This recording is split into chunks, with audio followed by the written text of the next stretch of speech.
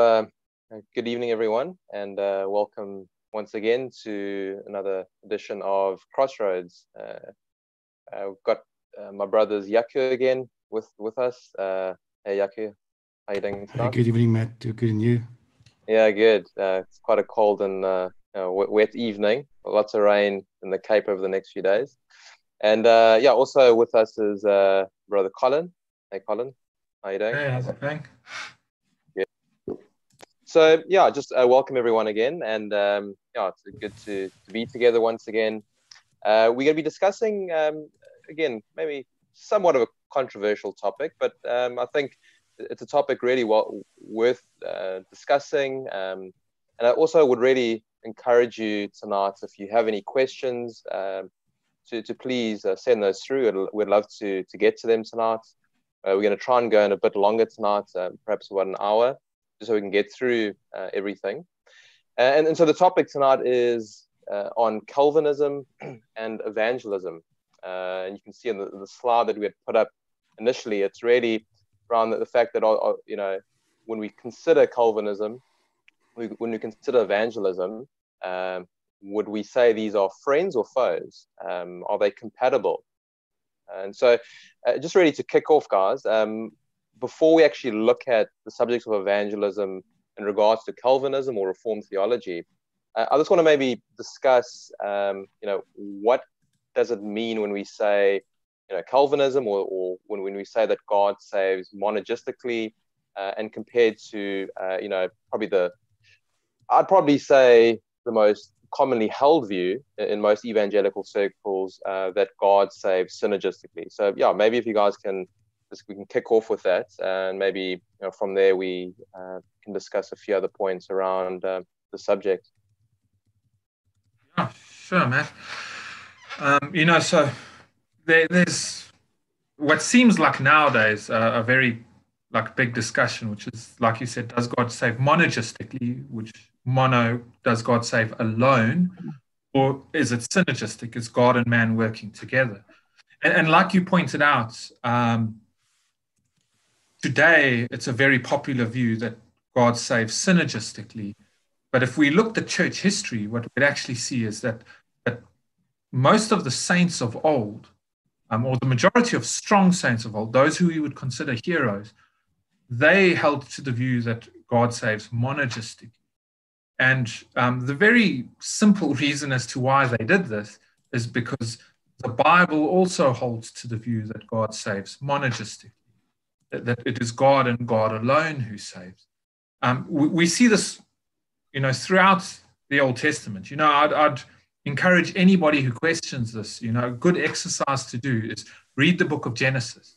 Then go look at the book of Genesis and all these, these chosen people that God works with through time and see who of them chose God and who of them God chose. And, and what you'll see is, is in almost every single case, it is God who acts. Um, you know, in Exodus, God very famously and an often quoted verse says, I will have mercy on whom I have mercy, and I will show compassion on whom I have compassion. Uh, God clearly stating that it is He who decides who He'll have mercy on and who He'll have compassion with. Um, you know, if we look at the New Testament, John chapter 6, uh, I think, is a great place to look, uh, where Jesus actually speaks, you know, and they talk, you know, his disciples ask him, Why are you teaching these hard sayings? You know, and Jesus' response is, um, No one can come to me unless the Father in heaven um, enables him or draws him. Uh, you know, and then John 3, where we get that very famous passage, John 3 16, you, you know, before that happens when Jesus is busy talking to Nicodemus. Um, you know, Nicodemus asks about the kingdom of heaven, and, and Jesus' response is that um, that no one can see the, the kingdom of heaven unless you know he has been born again, unless God has done a work in him. You know, and so I would say unequivocally the Bible teaches that um, that God saves monergistically, that salvation belongs to God and God alone. It is by His grace and His grace completely that we are saved. Yeah, Matt, um, to link up there with Colin, I think um, the big uh, question about this thing is what is the real state of man after the fall? Uh, because if we really understand that, then, um, you know, I think one would understand why God saved monergistically. And so maybe let's just maybe define monergistic and synergistic so that people understand. And, and let's also just say we don't want to be bogged down into terms and stuff because, you know, we want to be biblical. But, you know, throughout history, names does come up and uh, people, we, we give names to certain things, which is just, I think God has created us to be creative and to make uh, names uh, like the Trinity. It's not a name that was in the Bible originally. It was a name given to uh, by the church as they came to understand what what the Bible reveal about God. So you know the term monergism is is is um, it's just a, it's a term that was uh, uh, created by the way um, uh, uh, the, the, the church fathers could see how God saved from Scripture, how they saw um, what God says about salvation in Scripture, which means God starts salvation. He's the, the you know salvation is from the Lord alone, like Job says salvation belongs to the Lord alone. God is the only one that gives spiritual life. That's why it's it's monergism, it's God alone. Synergism comes from the view that says, no, it's a co- cooperation. There's a cooperation uh, uh, between God and man. So man is not completely dead in his sin. He's kind of half dead, or there's some form of goodness or whatever left in man, good enough so that everybody can by himself make um, a judgment whether the Bible is true or not, and whether one can by himself give give something or bring something to the table. In other words, when I read Scripture, uh, synergism says it's I'm I'm able to see that Jesus is Lord. I can I, I have some sense of my own sinfulness, and therefore I can take that first step. And they call it sometimes prevenient grace. It's like everybody has a little bit of grace uh, received by God, and and therefore everyone can make that choice for yes or no, and it's up to you to make that final cho- choice. And that's what synergism basically comes down to. While monergism says no, from Scripture we see that man is dead in his sins, like Ephesians two verse one to ten tells us. You are you are born dead in your sins. Paul clearly says there. I think even in um, some other passages he says um, we follow the ways of the world. Naturally, we are all, when we come into this world, we follow in the ways of the world. And if you read Romans 3, there from verse 9 onwards, it says that there's no one good.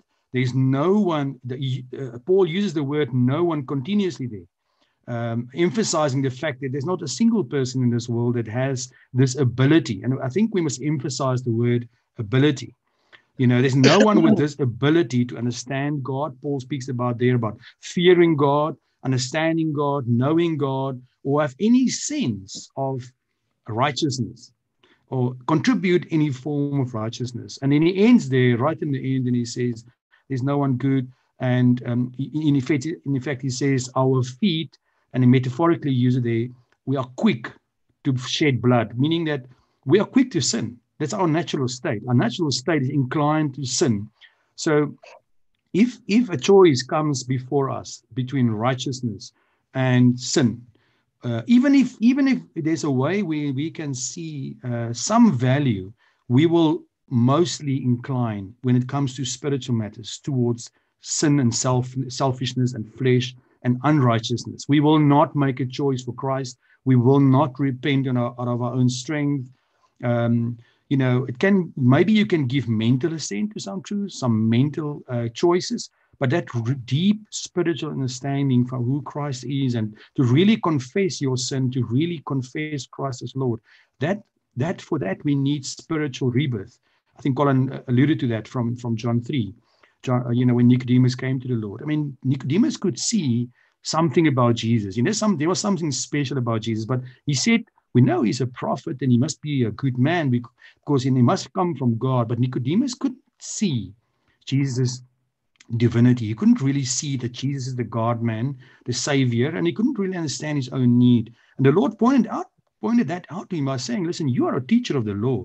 I mean, you're supposed to know these things. And and then he answered him and he said, But unless you are born again, you're not able to enter the kingdom or see the kingdom. Now, enter is repentance, and and see is a revelation and understanding. You know, so both those two things is needed for salvation, and it's only possible by rebirth first, and that's why we talk about monergism That's why we believe in a monergistic uh, salvation. It's rebirth first. Yeah, um, yeah. Thanks. I just want to maybe um, quote something from what Steve Lawson said. He said, um, and I, am going to ask you a question based on this. He said the following: There may be no truth in the Bible more deeply loved and greatly cherished than the subject of the new birth. I know you guys have, you know, spoken about, you know, John uh, three, about Jesus um, speaking to Nicodemus about uh, the new birth. And he said, and then he carries on and says, Here is the grace centered message of a new beginning for those whose lives have been ruined by sin. Here is the life changing truth that sinful men can be made new. And what I want you guys to really speak about is um, the difference um, that someone that holds to a synergistic view of salvation has when it comes to the new birth, uh, regeneration, um, and in order, in a sense, the order of salvation, so to speak. Mm. So you can maybe speak to that because I think again, this is often where you know, if I just even look at my own upbringing, um, you know, and the churches that I uh, grew up in, uh, again, there was almost a call of salvation, um, and the, the, the reality was that when um, the the message of the gospel went out, I was really told that Matt, you need to make a decision for Christ, uh, and then you'll be born again. Mm. So can you maybe speak speak uh, speak through this a bit, and again, why this thinking is also uh, quite anti-biblical? going to go, Colin? Yeah, no, I'll, I'll go. Um, I think that, yeah, I, think from when people talk about I make a decision for Christ, um, then really what happens is, is this idea of rebirth, of being born again and made new, is really just an afterthought or an after effect to um, something that, that, you've done, to a decision that you've made. It's not um, at the center of your Christian identity. Uh, many people who view Christianity like that almost see God as a kind of bouncer, you know, outside of, of heaven. And so what they would accuse us you know, who hold to reformed traits of doing this. He's this mean bouncer who only lets a select few people in, you know, and whereas they're saying no, he he will open the door and just let everyone else who wants to come in come in, um, you know, and they miss a point that Jaco made like really well in the beginning there, and that's that we are dead in our sins. You know, rebirth, when you look at it monergistically, um, or from a reformed or Calvinistic perspective, then becomes central to who you are as a Christian. I was a sinner. I, was dead. I was worthless. I had brought nothing to the table in terms of salvation. And now I am made new. Uh, th- this is something that I, I, I cherish greatly. I, rejoice about it. I, I still, to this day, sometimes weep when I think about it because God has made me new. He's given me new life.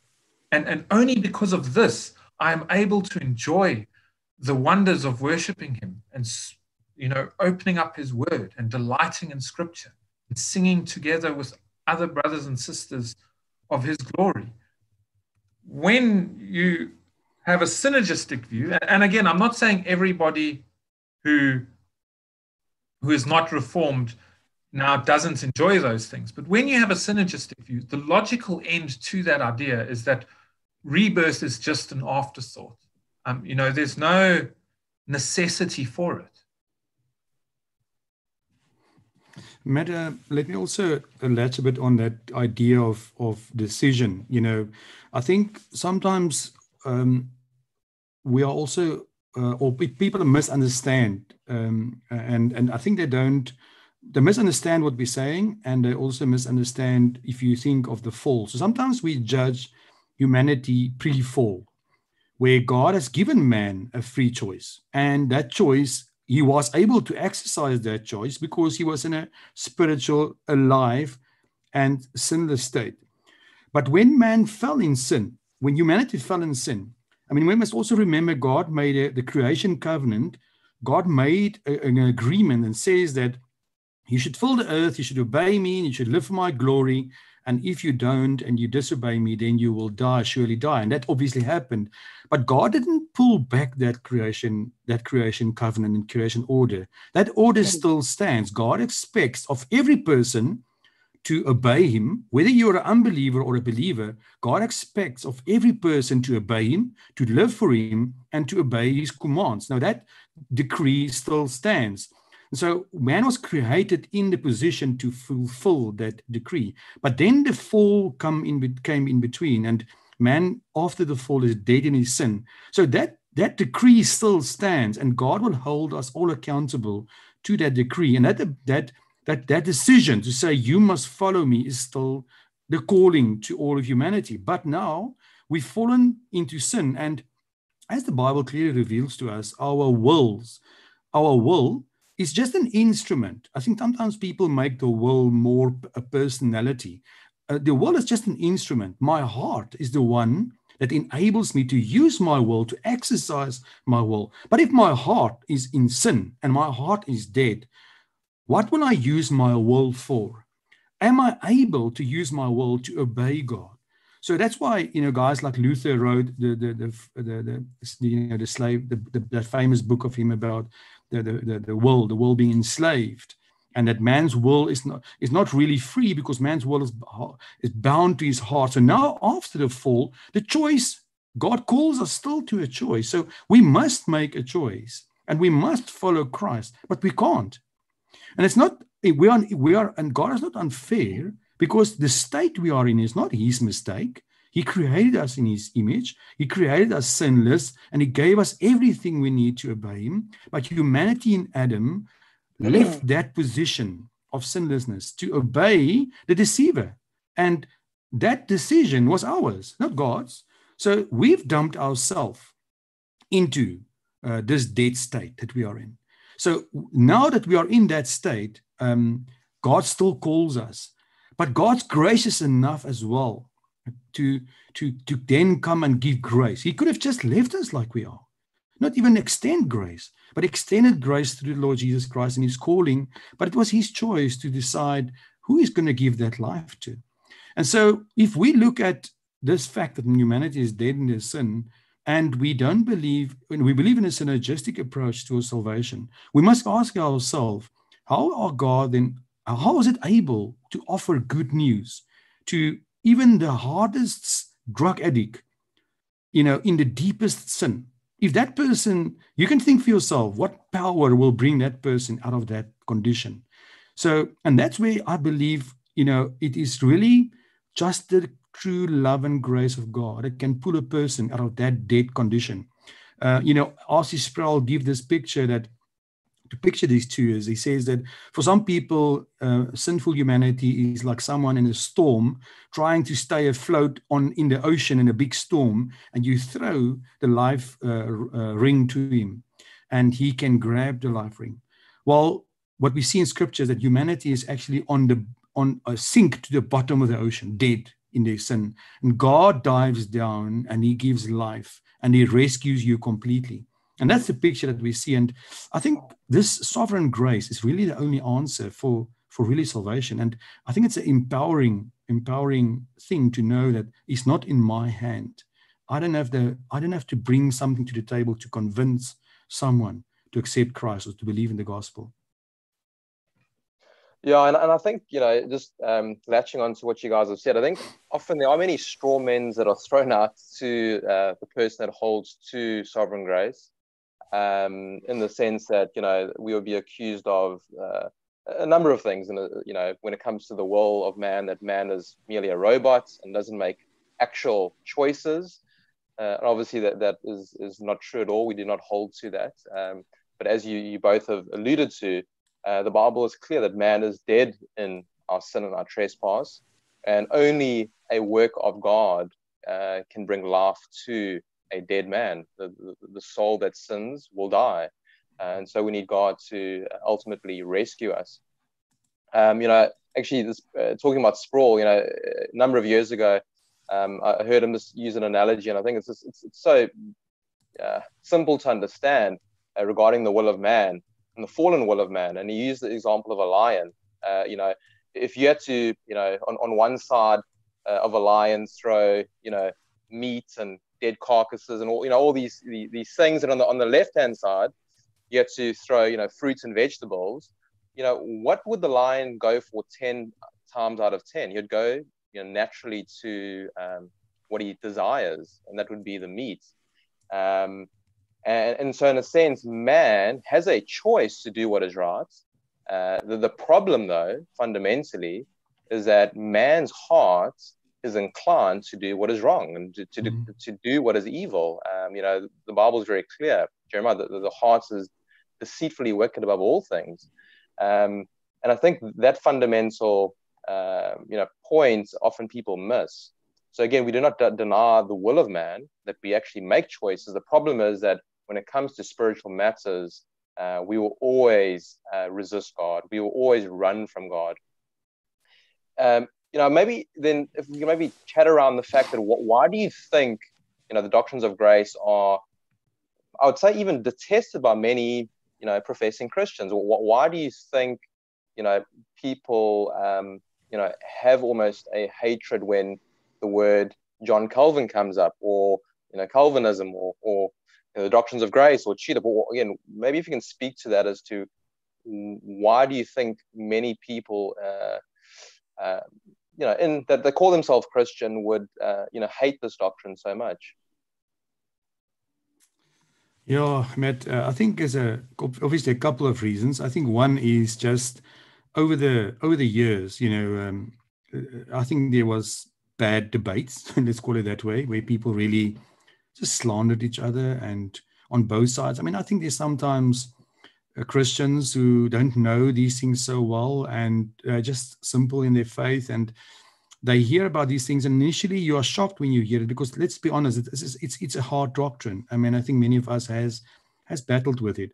And then when you do show some resistance um, people might then hurt some people and then some antagonism has grown over the years i think. So they, they this you know people are really treated uh, i mean we must be we must be clear that the the the the, the, way, the catechisms i think both the, the 1689 and the westminster says that this is a doctrine that we need to be very careful with and it's a doctrine that is more for discipleship. It's not something that we go and openly fight with unbelievers on the street with. And I think I think even with young Christians, this is a doctrine that we need to be very careful and and wise with because it is it, it's not it's i mean uh, yeah and let's be honest it's it you know it's not hard so yeah i think the first reason is this doctrine was treated badly by uh, you know, stage stagecoach Calvinists or whatever, um, and people who just talked hard about it, and then it, it, it, brings antagonism, and I think there's people who's antagonistic towards it purely because of that. And secondly, let's be honest, Matt, you know, even in my in my own life, and um, when we were confronted with this, and um, you know, when I was confronted, uh, although I think sometimes the way God saved different people, it wasn't it was easier for me in a way I mean, when I heard it the first time, I thought this must be true because I was such a wretched sinner. I, I realized I was just so, and I was so under the condemnation and judgment and realized my sin that, and, and I saw this God glorifying approach towards salvation. It, it was just something that I realized this must be the truth because if you look at some other things, it, it, it sometimes feels it's, it's a bit go, you know bit bit, man centered, and I don't want to say that that everybody is like that. I want to speak carefully and uh, not do what I already warned about in the beginning. So I, I, think, and then sometimes our hearts, met, met our flesh, our pride does stand up. You know, it's difficult to handle. It's difficult to when you're confronted, when you're a father or a mother, you're confronted with the fact that there is such a thing, and then you say, no, it can't be. It can't be because that that would may put my children at danger, or or your family members, or something like that. You know, um, so I think that this this this this thing that God, the way God has has designed salvation puts God in the center and it, it takes us out of the center. And it's a, that's a, that's a, that's a, that's not the easy thing. Uh, you know, we must take up our cross and follow Christ, and that's a hard thing. So those are the two things I would say um, cause cause uh, reactions in people's hearts. I can't yeah. know if you want to add anything. Um, yeah, or um, I think Jaco hit the nail on the head there. Um, there are times where you know, Christians, Calvinists, or reform people, whatever you want to call them, have behaved and responded poorly. He made mention of cage stage Calvinism. You know, that I'm out of the cage stage. Um, I can look back at it with irony because this is the doctrine where we're saying God and God alone mm. own, is the only one who can open your eyes to these truths. And then we go to people and shout at them and say, Why don't you believe this? Um, you know, and there's, there's a bit of an, an irony there.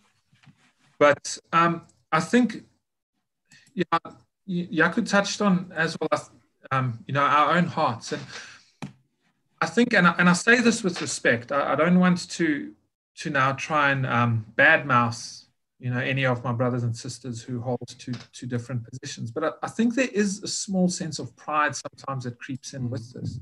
There, there's this sense of accomplishment we have um, when we become Christians. I think, especially in in these very Christianized societies that we live in, where there, there's still somewhat of um, how can I say like cultural benefit to being a Christian. So um, you know, in these kinds of settings, you know, many people will come into the church. So I think there's a large number of people in the church who are just not born again, um, and I think that doctrine like this will especially um, grate hard against their unregenerate hearts. Now, I'm not saying everyone who isn't reformed is, is not a believer, but I think there is a large proportion of people who are not regenerate who then turn and hate this doctrine because of that. Um, and I think the other part, you know, it's we feel a sense of accomplishment sometimes with our Christianity. Even me, who holds to these doctrines, I find myself in that camp. I find myself patting myself on the back, going, you know, well done, Colin. Look what a good Christian you've been. And, mm. and that's fine. You know, that's things we need to rid ourselves of. Um, and, you know, a way to almost to mask over that is, is to almost give yourself that sense of accomplishment instead of rid yourself of it. Um, and so, you know, sorry, I'm, I'm yucking a bit here because I don't want to say anything that's that is going to be too offensive. But I, I think that if we do hate this and, and we're trying to say, I do add something to my salvation, um, I think we really do need to question our hearts. Then. We really do need to ask, like, like, why am I holding so hard onto this? You know, is it because I want to have contributed something to my salvation? You know, and then I think there's some serious questions that we need to ask you know, about what we think the work of Christ accomplished on the cross. Thanks, guys. Um, yeah, and, and I think there's, a, there's truth on both sides. So um, I do know that there, there are uh, reform folk um, that yeah, are pretty hostile uh, and maybe not gracious, which I think is quite ironic, as we, you've mentioned, uh, in terms of what we hold to, in terms of that, you know, it wasn't by the grace of God, where would we be? Um, but on the other side, yeah, I do think, um, and again, in a respectful manner, I, I do, I would say that um, many hold to a synergistic view of salvation because at the end of the day, they almost uh, above everything uh, want their own choice, their own will uh, to be um, emphasized. Uh, that, you know, at the end of the day, God's not going to force me to do anything. I, I, I, chose to be a Christian. I chose to follow Jesus. Um, and if I, and again, I think this is where, you know, if we think about um, uh, perseverance of the saints, often many in that camp would say, no, well, that's also a doctrine I, I could never hold to because the, the fact is, uh, I can let go of God's hand. You know, I can at the end of the day say, well, you know, I'm no longer a Christian. I can walk away from God. Um, so I think again, we you know people do need to be really careful um, uh, when it comes to you know because this is foundational you know to our salvation. What what we actually believe about God, what we believe about God's redemptive purpose uh, throughout history, um, uh, really is essential uh, to the Christian faith. So it is something that people really need to think through. And I think, you know, in, uh, on, on the other side, is we, we, we, do know that, you know, many, I think over the last, you know, 20, 30 years, uh, many even young people, you know, um, have really been drawn to Reformed theology because they've, they've been tired of man centered um, doctrine, you know, uh, this uh, very, you know, gospel light type of teaching. Uh, people have been hungry for truth, people have been hungry for expository preaching. Um, uh, and uh, so I think that's why many, I think even young folk um, have really, I think, really been drawn to to Calvinism, uh, so to speak. So uh, yeah, and, and if, if, anyone's watching, I think there's a really good uh, movie out there called Calvinism. I can recommend. You know, if you also don't have a good understanding of you know who is John Calvin, you know, he, he's he's quite a hated man, you know, by many, and I think for for for not good reason. So uh, yeah, it's, it's a good good documentary. I'd, I'd highly recommend it if you if you want to maybe dig deeper as to you know what it means when someone says, "Well, I am uh, Calvinistic.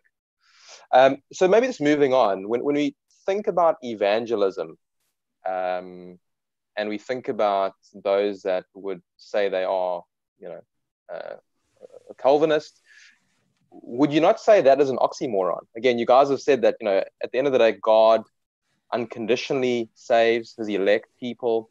Uh, you know, he set his affection from before the foundation of the world. Uh, so again, do you think it's an oxymoron when we, we think about a Calvinist evangelist or, or someone that says, you know, I'm going to go witness to the lost and has a passion for the lost? You know, ma- many that maybe hold to an Arminian view of salvation will say, what are you guys doing? You know, God, God saves, you say. So why would you evangelize? Yeah, well, Matt, I think uh, you know, it all depends on, again, coming back to what we said right in the beginning, your view of, uh, of fallen humanity and in what state it is. But, you know, I just want to read in that sense one verse that I looked up here, 2 Corinthians 4, verse 4. So I think let's just listen, listen very carefully. It says here, the God of this age has blinded the mind of unbelievers. Okay, so that, that's the state of unbelieving humanity.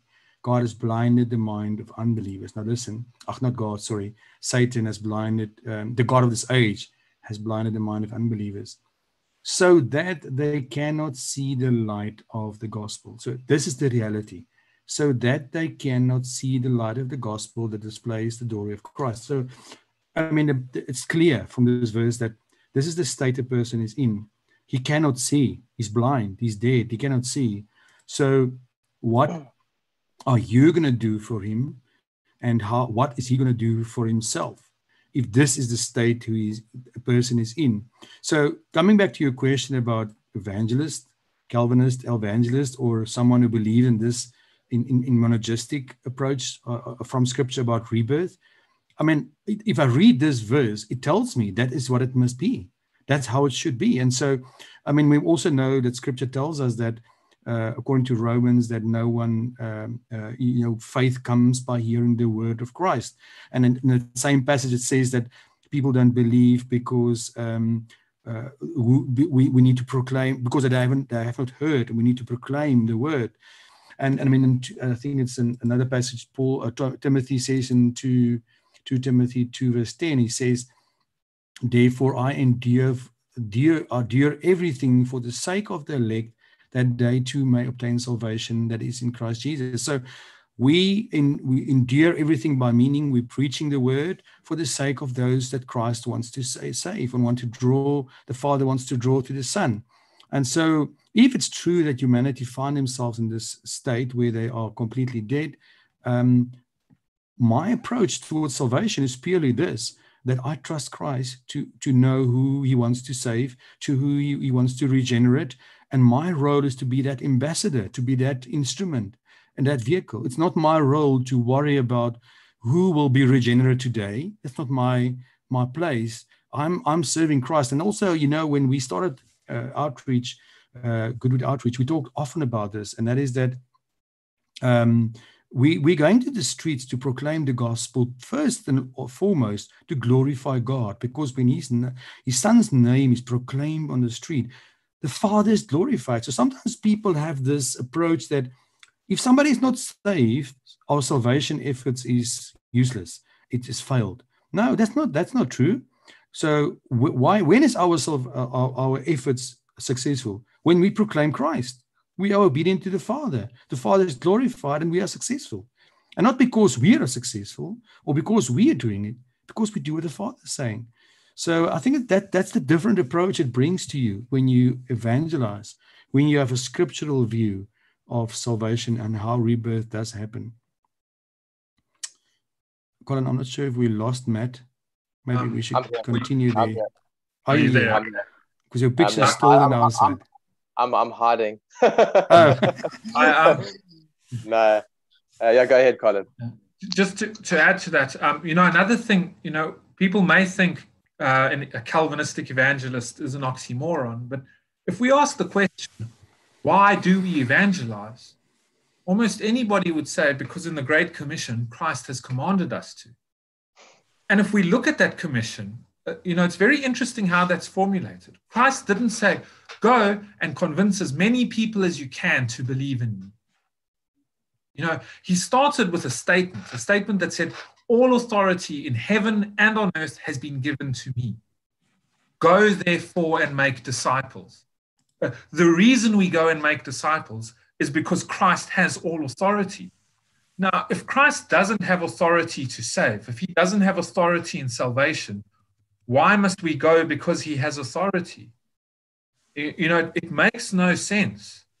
Uh, the only way that commission makes sense is, is with a God and with the Christ and with the Savior who has the authority to save those who he's sending his people out to proclaim the gospel to. You know, and I, and I really think we see this echoed throughout the New Testament as well.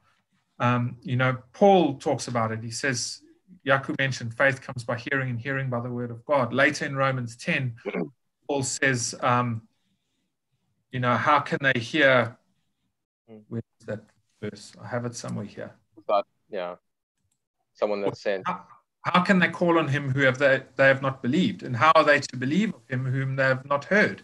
And how are they to hear without someone preaching? And how are they to preach unless they are sent? As it is written, How beautiful are the feet of those who preach good news. And so we go out and we preach good news because all authority has been given to Christ and he saves. Um, you, you, know, so could almost turn that around and, and say, how can someone with a synergistic view you go out? Like, like what are they doing? Are they proclaiming the gospel or is it just merely um, trying to convince people. You know, and that, and that brings me just to a second point, and, and you guys will know this well as well. The most common objection I hear when people say I can't go evangelize is that I'm not good at arguing, I'm not good at debating, um, I don't know how I would convince a complete stranger of these things.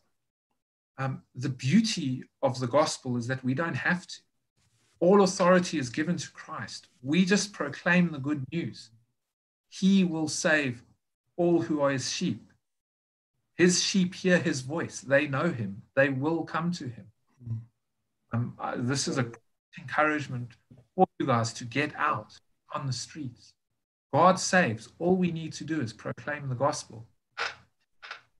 It's beautiful. You know, you, this reminds me. I'm gonna actually. There's two questions which I'm gonna uh, get to now, guys. Um, th- thanks for sending those through. Um, but just as you, you mentioned that, you know, that uh, the sheep will hear Christ's name, the shepherd's uh, voice, uh, so rather, you know, Joel Beeke uh, used this illustration. He said, you know, he was in Scotland, um, he was uh, preaching at a church and he went back uh, to the pastor's home and, and he was basically chatting to the pastor about, you know, he had heard that, you know, that um, in, you know, if, in the field, um, you know, sheep that have different, that will have basically different color uh, patches on their um, uh, on their back, and when uh, the shepherd calls, makes a you know a, a sound for his sheep, only those that have the marking of his sheep will lift their head and go to the shepherd.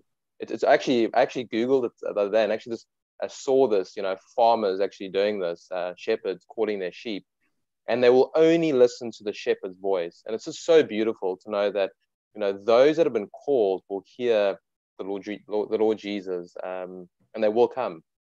Um, so just yeah, getting to a few questions. Uh, uh, good evening, Conrad. Uh, thanks for the question, uh, the, the guy. So uh, Conrad's question is the following: Many people claim to be true Christians, even when praying a sinner's prayer, uh, and believe in salvation by confessing Jesus as Savior they seem to be on fire for God for a few years, um, but later on fall away or uh, from God. So, how do you really know you're a true Christian? What's the things to look for to know you have true salvation? Yeah, well, Matt, I think um, the first thing that is the Bible is clear that those who really belong to Christ, who are really born again, they will bear fruit. Jesus said, By their fruit you will know them. In Galatians 5, give us a clear picture of the fruit of the flesh and the fruit of the Spirit.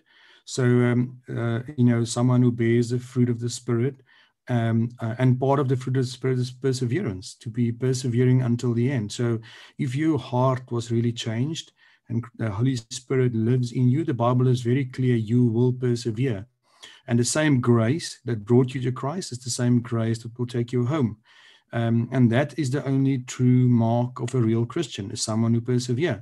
Someone who falls away, like one John says, has never been part of us. They, uh, like John said, they went away from us because they were never didn't belong to us or were not part of us. So, uh, you know that that's the reality. One one reality I think sometimes we must understand here is, and I think Christians make this mistake with this question is that I think we want to be the inspectors of who's really Christians or not. And I say this with respect, not to be ugly, but I do think we need to uh, um, we need to make a, a, some kind of a judgment, for example, when it comes to uh, membership and stuff like that.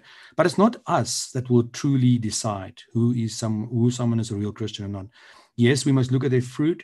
If people don't bear the fruit, we discipline them. If they don't show repentance through discipline and they can't after the second or the third time, we will cut them off through church discipline because they show by their unrepentant heart they're not true Christians. But we must remember that picture that Jesus um, gave to his disciples.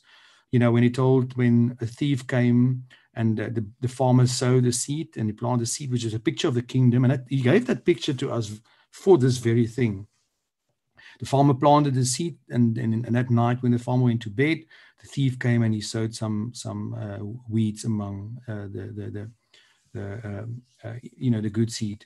And the next day, the farmer sees this bad that bad seed came up with the good seed. And what was the what was the disciples' response? They immediately want to jump in and pull out you know the bad seed and and the weeds. And and Jesus said, no, no, you don't do that because you will you will hurt the, the, the good seed. And he said, At the end of the days, when I come with my angels, I will, I, he will divide.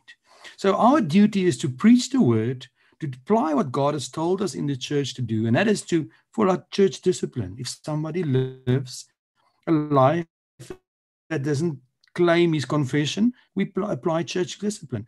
Obviously, we will not jump in initially and start chasing people around and hurting people. You, you, you. Like that's why the Paul, Paul, Paul told Timothy, teaching, rebuking. Uh, um, there's a pattern there. You know, it's a, it's a. Firstly, it's correcting, and then it's rebuking, and, and then you get to a point where you say, "But this brother, we've spoken to you, or sister, we've spoken to you. You continue in this lifestyle. We don't show repentance, and." But that will be a long journey. It's not something that just overnight you jump in and say, hey, you're not a Christian, we kick you out. you know? So I think we must be very mindful of this. And I think sometimes as Christians we battle with this, that the reality is as much as we want the church to be perfect, and as much as we want to make sure that every person is really a Christian, uh, is that it's not in our hand that that final that, that kind of a perfect judgment because we will have to appoint ourselves as god to be able to make that perfect judgment. It's in god's hands and jesus gave us a picture and we should just do what scripture tells us. If somebody doesn't bear the fruit of the spirit we will correct and rebuke each other and we will call each other to repentance and apply church, church discipline we need it. Thanks jackie. Um, just another question from darren. Maybe colin i'll, I'll put this to you. Uh, darren says the following um, how do we evangelize and present the gospel to unbelievers since it is not by human choice to repent? And we've spoken a lot about this. Uh, the reality is, yes, ultimately, God is the one that elects. So he, he says, so how do we evangelize and present the gospel to unbelievers since it is not by human choice to repent, but by God's sovereign grace to draw people to repentance? So basically, some practical application as to how do we actually then evangelize? How do we present the gospel to unbelievers? Do we use some uh, methodology? Do we are there tricks in our arsenal that um, that we use? Um, yeah, I'll I'll get to that now. I just just want to add one small thing on onto what Jaco said there, um, because this is also just something I've seen happen in the church as well. Um, I've had, you know, men that I've looked up to um, who've come under church discipline and are treated as, as unbelievers. I've had many close Christians who've walked this walk with me and have now fallen away. And, and often it, it rattles your face. You then start questioning, how do I know if I am saved? Um, you know, and some people might say, well, don't doubt, you know, just don't have any of the doubts, which which I think can be unhelpful because it's um, then when you have them, you're like, oh, um, now I'm questioning even more. And the whole thing can spiral out of control. You know, sometimes another response might be, you know, you just know in your heart um, that you've been born again. Um, and I've had moments where I feel like that as well. But what I would really encourage you to do, if if you have experienced something like this, is to look at the Word of God. Um, the Word of God tells us that we are saved, that while we were yet sinners, Christ died for us.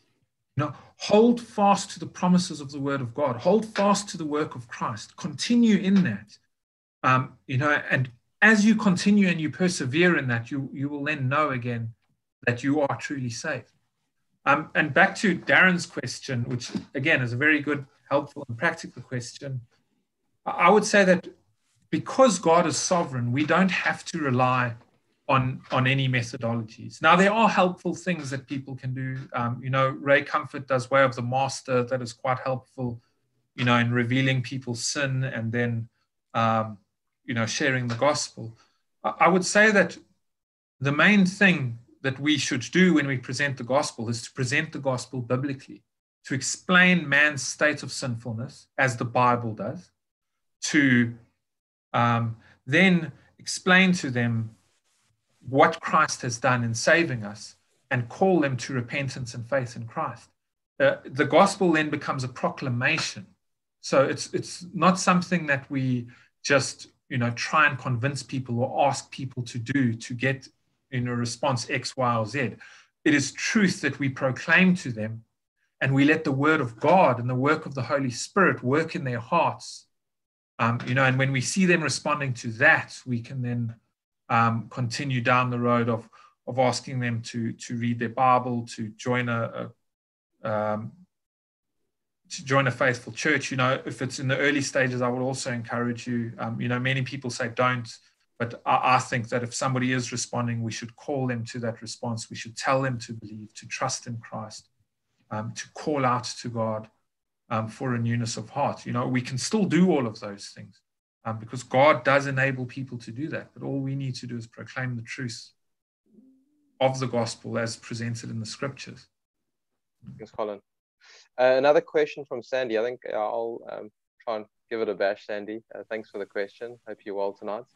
Um, Sandy asks, um, why does God still find fault?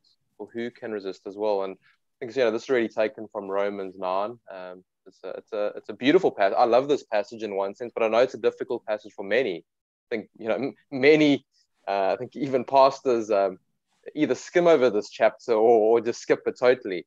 Uh, but, but the reality is, um, I think if we, if we look at um, Romans chapter 9, verse 20, uh, you, know, you know, Paul really emphatically answers this. He says, But who are you and it's just amazing, you know, that's 2,000 years ago, this was written. This is the same question that people ask today, but it's not fair. Why would God only save some? You know, that's not fair.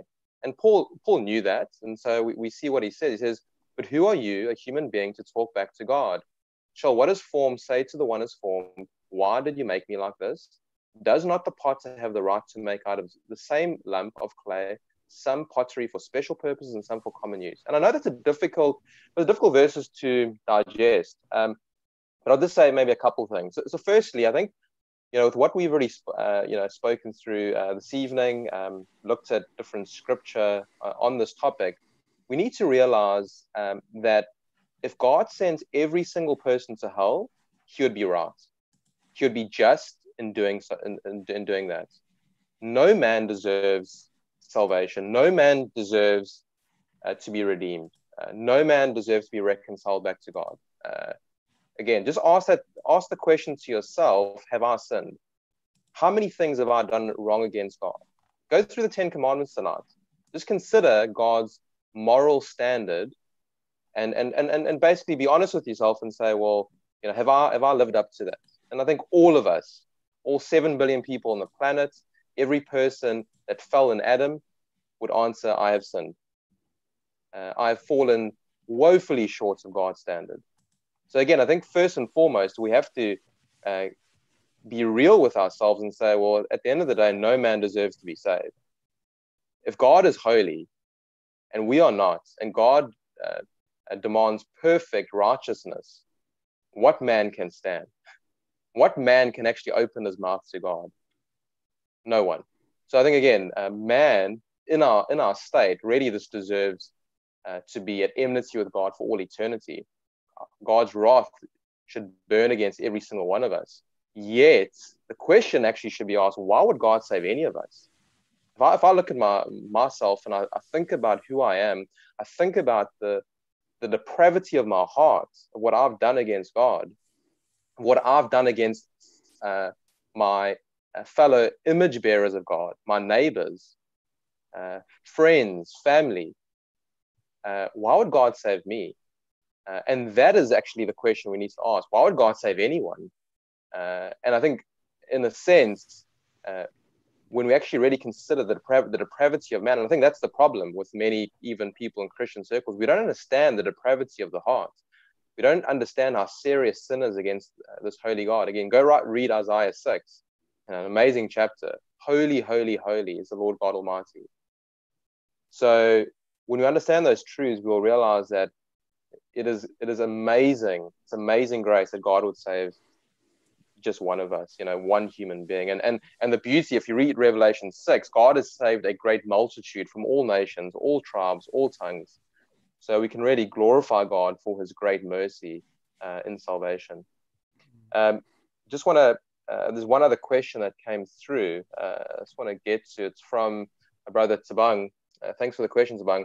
He says the following. I think it's a good question. Uh, he said, "I would like to, I'd like for you to touch on the question of making an altar call after preaching. Do reform, and we obviously we've I think we've spoken about that in, in previous programs in terms of altar calls, uh, how popular they are in our day and age, probably you know since the days of Charles Finney. Um, so the question is, do reformed preachers reject it completely, or is it something that we can review so that it does not give people who come forward a prayer of false hope? Anyone want to take that? Yeah, Matt. Um, I think it's a good question and can be answered exactly from our topic tonight. If if we really believe the scripture does tell us that God does sovereignly rebirth and that nothing will resist his working. Um, uh, if that is true, we have to feel no, um, um, we, we don't have to feel any need or fear that we can stop that from happening. We cannot prevent it from happening. So whether we do an altar call or not, if God decides that He's going to rebirth somebody today in that Sunday, that Sunday morning in the sermon, He will does He will do it because it's monergistic, and He does it in that moment. Uh, he doesn't do He doesn't do it in the altar call. In fact, your response, if you do go forward, then you are reborn already. You know, I know this might be a challenge to some people because I know that the the, the, the, the, the, the response would be, but okay, then I have to do nothing to be saved. No, it's not true. We need, still need to repent, but my repentance is a fruit of my rebirth. It's it's faith and repentance, all those things is fruit of the, the rebirth. So if we take that thought into consideration, I think the whole um, pressure of making sure we call people to the front is, is taken out of the, of the fact because if I preach some, I mean, if you preach, I mean, I've listened to some testimony, people will just repent during the sermon without even coming forward there where they sit because rebirth has been granted to them. So, um, yeah, I don't want to say we uh, should reject completely, but I, I, if, you, if you take that consideration, I think there's more dangers with the altar call and there's more good in a way. Um, so there's people who has been really been saved um, with the altar call because God's sovereign. Um, but I think uh, it's unnecessary. Um, we should. Uh, it, it, takes. It, it, causes unnecessary coming forward. The whole situation of people standing there. There's a temptation of pride. There's a temptation of uh, pressure. You know, people feel pressure. I must go. There's so many re- more negatives for me personally. This is my personal view towards this thing that I think it's unnecessary. If I understand salvation monergistically, there's no need for it. I mean, uh, sometimes I've done in preaching. I don't do it often, but here and there, especially when I preached a sermon which I know there's some, it was a hard call for repentance. I will at the end leave, say I'm going leaving quiet time for prayer. Why do people have to come forward? They can sit and pray there. I've done that. Not, I will not do it um, by habit. I've done it a few times. I would rather recommend that than, than an altar call, for example, at most. Thanks, Yaki. I don't know if you want to add anything, Colin. Um, I'll just maybe maybe say um, just on what, what Yaki said. Yeah, I think you know, there has been a lot of damage um, done uh, in the name of Christ, um, and I think it's given many people, millions, uh, false assurance. I think you know I spoke about this a couple of weeks back. Uh, if you look at the numbers, um, the stats, uh, even uh, you know I think in the U.S. but across the world, um, the majority of people, and I'd say the vast, vast majority of people that make decisions, so to speak, for Christ uh, during an altar call, a crusade of some sort, uh, often are nowhere. You know, they, they fall away. Uh, so, uh, but again, uh, as Jaco said, uh, there are people that have been truly saved. Um, you know, not because they went forward, but because the Holy Spirit granted them uh, they actually were born again before they went forward. exactly, exactly. So um, yeah, I hope that I hope that answers uh, that. Uh, uh, Colin, if you want to maybe mention anything. Um, not um, much. Um, I, I, was just going to mention that um, yeah, some people who have responded to an altar call have been born again. I think yeah. one was um, you know, we would have all been born again five or six times each. Yeah. well, I, I went forward to the Billy Graham Crusade. There were 10,000 people. Yeah. I was I was 20, 20 years old. I was not saved. I was really only saved when I was 42 years old. Yeah, no, look, I've gone forward to those things when they've had them on like a Saturday morning and I and I'm still oh, I shouldn't be saying this because my mom's probably watching, but I was still a little bit drunk from the night before going out somewhere, and then I get to an event and people You're are guilty because your mom is there. you know, and, and I'm like responding because, like, you know, I've been compelled to almost by mm. emotions, and that's a like I would just add. I think there's nothing wrong with standing from the pulpit and calling mm. people repentance, and I think no, agree pastor would say, we can make that call from the altar, so to speak. We can tell people, repent mm. sins. But I think the whole idea of making everybody get up and come forward in like this big grand mm. gesture mm. is is unnecessary. You know, Peter, okay. when he called people to repentance and act, you know, they cried out. They were cut to the heart. What do we do to be saved? He didn't say, well, all line up and come forward now. He said, repent and be saved. Mm end of it. Then he went and baptized them. And mm. so hmm. I would say that if you want to make calls for repentance from the pulpit, I think that's fine, but hmm. not. I, I mean, Colin, I also want to maybe add something to that, just for parents that might be watching, because you know I've spoken to many, you know, um, over the years regarding evangelism uh, when it comes to children specifically, and I think we, uh, and I've I've seen this personally, and I've I've actually it's it's almost worried me and concern me a great deal. I know I know these people have done it with um, uh, the probably best intent. Um, however, we know that you know we, we just think about adults and, and and this discussion around altar calls and the pressure and the, the emotional harp around it, and you know people get up, get up and go forward. Now, when it comes to children, we even need to be that more sensitive. Um, it is very very easy to have uh, you know you teaching Sunday school on a Sunday morning uh, and um, to get 15 kids, grade four kids or grade three kids to say a sinner's prayer of sorts, uh, or to lead them to Christ. Uh, or even again, um, as parents, you know, we, we, we desire our children to be saved. So we just need to be, you know, careful about, about that. So in the same sense, we preach the gospel to, you know, children. We, um, you know, we, I think as much as we can, we, we explain the gospel, we explain sin, uh, we, we disciple, disciple them, we go through scripture with them. Uh, but we just need to be very careful. Uh, and again, that's also a lot of wisdom that uh, needs to be uh, used because the reality is there are uh, children that are young that come to Christ. Uh, the Lord does save children. That, that's a reality, and we praise the Lord for that. yet we just must be careful in terms of um, you know, pushing it too far where we are prompting children too much because we want to see a result. So I'll leave it there. Um, you know, Jaco Colin, thanks for tonight. Is there any any maybe closing thoughts or anything you want to share with um, uh, with the audience tonight?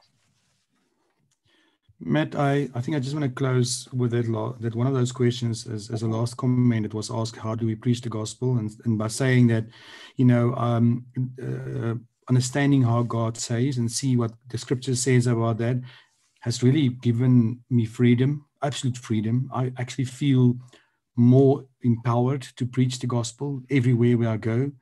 Uh, I'm delivered from trying to put something up or put some some some good message together to try and convince people. Um, it has given me the, the confidence that it's not in my hand. The greatest drug addict I speak to, I can speak to him with confidence, with boldness, with the word of God, because the Bible says all authority has been given to Christ, and Scripture is alive and active. It's not. It's not in me because I, I really. I mean, just imagine yourself trying to uh, save this person. It, it, feels like an impossible uh, task, and just it frees you. And it just and, and if you also take that approach where the Bible just shows us to to to preach the gospel is is, is an act of worship.